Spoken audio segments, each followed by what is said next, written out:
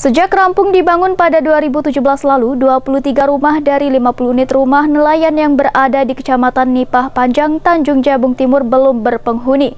Pasalnya nelayan beralasan enggan menempati karena lokasi yang jauh dari pasar dan pusat pendidikan.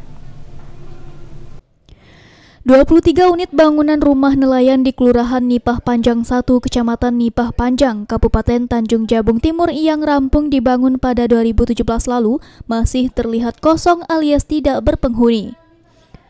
Dari 50 unit yang dibangun menggunakan sumber pendanaan dari Kementerian Tahun Anggaran 2017, saat ini hanya sebanyak 27 unit rumah yang ditempati oleh nelayan.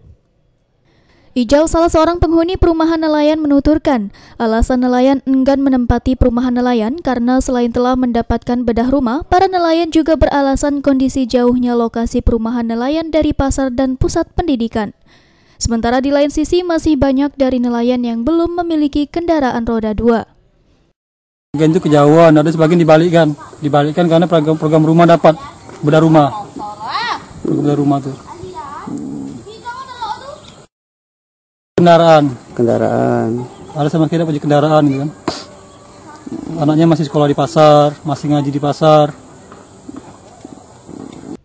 Eko Wijaya, Jack TV melaporkan.